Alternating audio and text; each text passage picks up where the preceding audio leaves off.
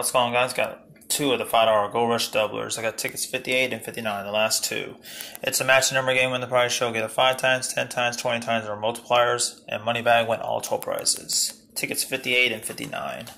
Odds on this game 1 in 3.98. Let's see what we can do on this ticket. This ticket is getting hard to find now. Uh, we got an 8, 12, 7, and 29. And no double.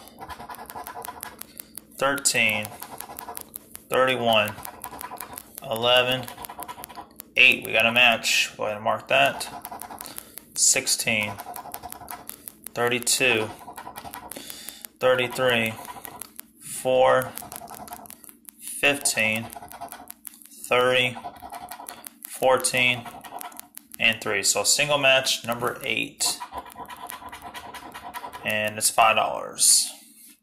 On to the last one of these, ticket number 59.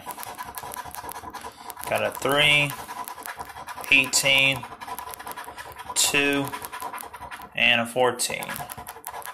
And no double. 21, 7, 28, 17, 33, 29, 13, 12, 9, 32, 22, and 1. So we got half the money back. Alright guys, don't forget to like, comment, subscribe, and share. Until next time guys, later.